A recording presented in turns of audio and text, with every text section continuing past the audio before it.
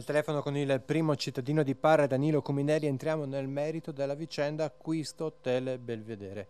Cominelli, cosa ci può dire? Eh, buongiorno a tutti, eh, le informazioni che posso offrire sono quelle che ho già più volte palesato. Una trattativa che sembra ormai addirittura d'arrivo da quello che mi è stato detto e sono stato informato anch'io non ufficialmente. Un gruppo di imprenditori ha colto l'occasione di fare un'offerta economica al, all'attuale proprietario del Belvedere per, eh, perché avevano probabilmente anche nel passato un'idea di realizzare qualcosa di diverso. Colgono l'occasione probabilmente di, eh, di offrire appunto una somma considerevole per, per, cercare di rilevare questa struttura e per poi riadattarla.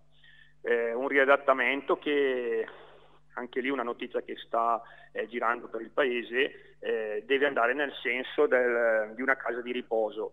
Eh, non nascondo che eh, se fosse così l'amministrazione comunale sarebbe anche eh, contenta della, della decisione.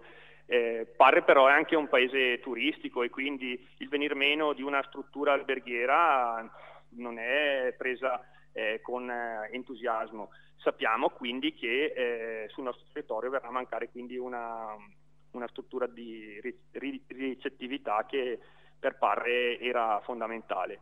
La scelta però di eh, partire con eh, un cambio di destinazione d'uso eh, non è ancora stata ufficializzata, quindi aspettiamo quindi di avere un incontro ufficiale con questa cordata.